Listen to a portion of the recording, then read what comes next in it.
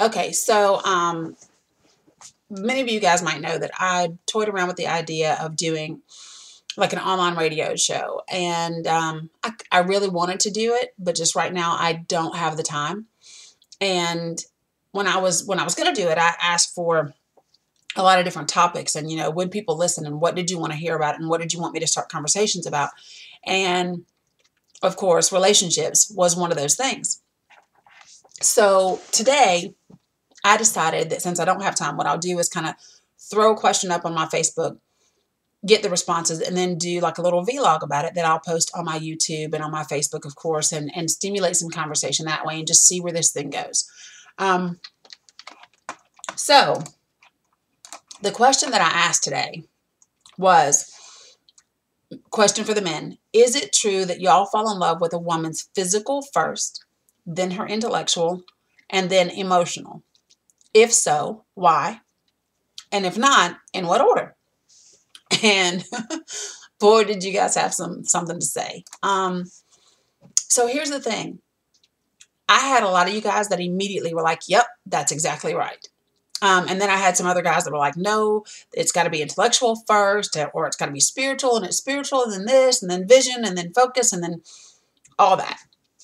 And I get it. I'm not belittling any of those things that were said. I love the fact that so many of you responded um, and the things that you had to say. However, I'm going to give you my opinion as if you didn't know that already. Um, so I do think that for both sexes, it starts physically, right?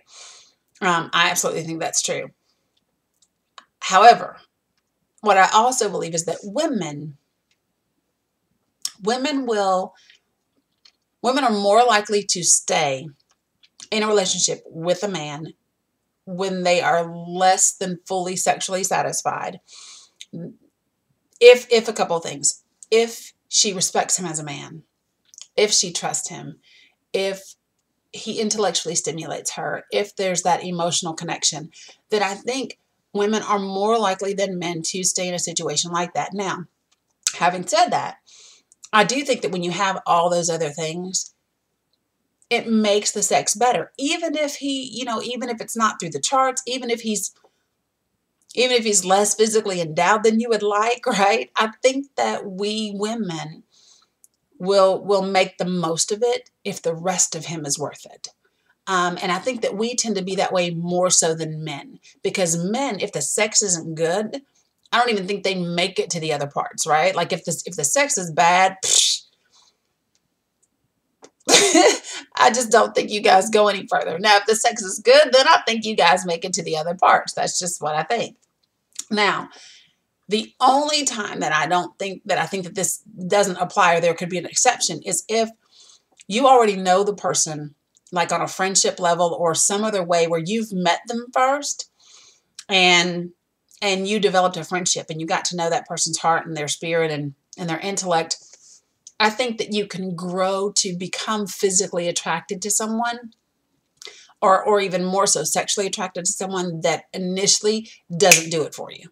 Like we all have that that one thing that we immediately think is attractive. Like holy crap. Like for me, my stand my norm, not my standard, but my norm is dark skin. I love a chocolate man, right? The the taller the better. Um, just not obscenely tall. Um, pretty smile, white teeth, absolutely all day. Um, and that's that's pretty much like my that that will get my attention every single time. However, I have fallen in love with men who don't look anything like that. Um, and it's because of other, the other stuff that they bring to the table. So, so for example, I have a really good friend, and we've been friends for a long time, and there are to to some women, he is gorgeous. I mean, he's a good looking man, and I can look at him and think, damn, that's a good looking man. He's just not my norm, right? He's not what automatically sexually attracts me. However, I respect him. Um, I love his grind, his ambition, the way he is with his family and his children. Like, so in that instance, if I were to date him, I could actually become sexually attracted to him more than just being able to appreciate his physical attraction, if that makes sense. Now, for all my male friends out there, don't start to go, oh my God, is she talking about me or whatever? Because I promise you, if he watches this, he'll know it's him.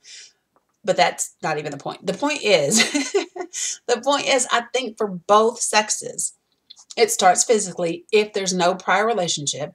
And then I think it builds from there. Um, and I do think for men, they fall in love with the physical interaction and I don't mean to say fall in love because you don't really fall in love with the physical, right? But the physical interaction is what is what gets them. They start at the surface and they work their way down. Women see the surface and we immediately look for what lies beneath. That's why we fall in love with men for their potential a lot of times, if that makes sense, because we see what's underneath the surface. And sometimes we we forget the other surface stuff does matter, you know, whatever the other stuff we see him doing is. So that's a whole nother conversation. Um, but I want to say this. I love the fact that all of you guys responded. I don't like, not that I don't like, I think that some of you said, you know, women that, you know, they only care about sex. And I think that's bullshit. Um, if a woman is interested in a sexual arrangement versus a relationship. It's not because she's a hoe. It's not because she's um, she's somehow I don't know lacking. It just may be the place that she's at in her life, right? Sometimes we go through a period of time where we need for it to only be about us, and we don't want to be engaged in anything that detracts from our own journey, right? If you don't know what I'm talking about, you need to go onto my YouTube channel, watch Lessons Learned. That's my second book that comes out this month because there's a whole chapter or two dedicated to this, and men, you will be enlightened. Um, but that that sometimes is the place. It's either that or defensive, and sometimes we have to go through that place because we've been so hurt in the past. So I'm just saying that's typically why women get there.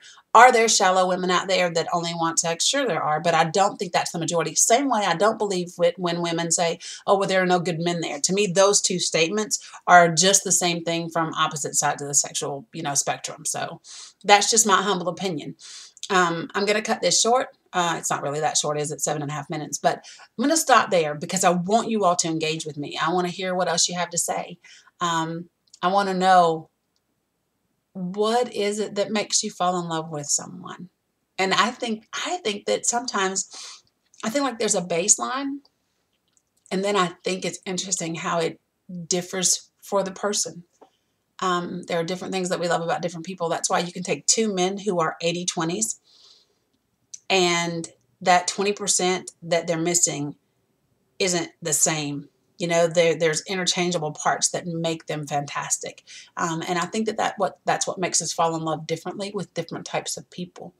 Um, so anyway let me know what you think. I'm uh, i'm interested. I'm intrigued and i like the dialogue. So guys stay with me. Women join in.